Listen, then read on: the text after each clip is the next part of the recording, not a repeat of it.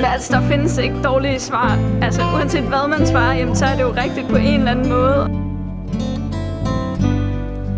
Man er aldrig bange for at sige noget, fordi det er jo ikke forkert. Han vil bare gerne hjælpe. Peter Fersk. Han har hjulpet mig siden første G. Svendborg Tekniske Gymnasium.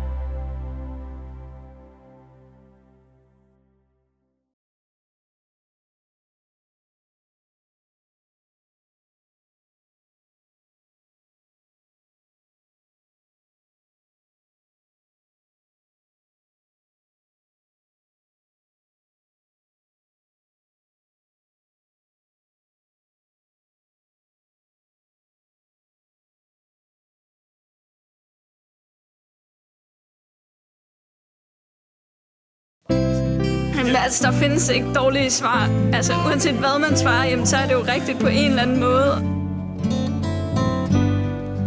Man er aldrig bange for at sige noget, fordi det er jo ikke forkert. Han vil bare gerne hjælpe. Peter Fersk. Han har hjulpet mig siden første Svendborg Tekniske Gymnasium.